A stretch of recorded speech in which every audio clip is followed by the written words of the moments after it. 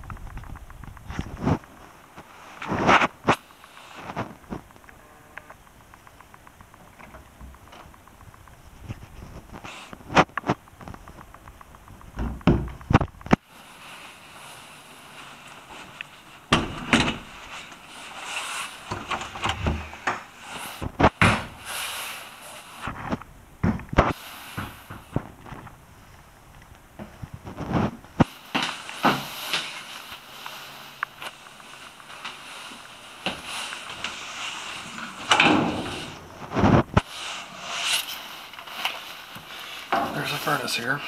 One second.